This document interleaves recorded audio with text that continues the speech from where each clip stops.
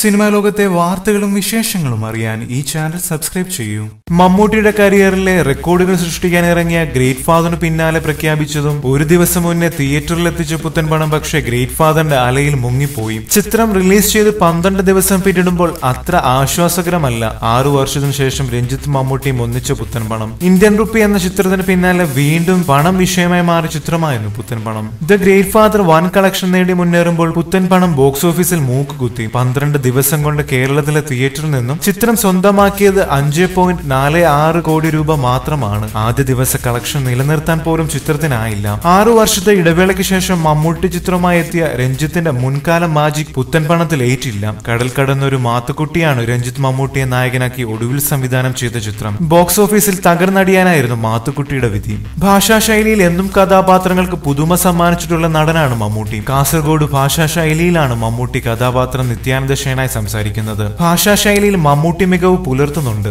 November എട്ടിന് പ്രഖ്യാപിച്ച not നിരോധനമാണ് ചിത്രത്തിന്റെ പ്രമേയം. അതേ തുടർന്നുണ്ടാകുന്ന വിഷയങ്ങളെ പരാമർശിക്കുന്ന ചിത്രം പിന്നീട് കൊലപാതകത്തിലേക്കും വഴിമാറിയിരുന്നു. എന്നാൽ പുത്തമ്പണം നേരത്തെ റിലീസ് ചെയ്യുന്നതിനോട് ആരാധകർ എതിർത്തിരുന്നു. മമ്മൂട്ടിയുടെ തന്നെ ഗ്രേറ്റ് ഫാദർ തിയേറ്ററുകളിൽ ഓടുമ്പോൾ പുത്തൻ പണം ഇറങ്ങിയാൽ അത് വിജയിക്കുകയില്ല എന്ന് തന്നെ ആരാധകർ മുൻകൂട്ടി അറിഞ്ഞിരുന്നു.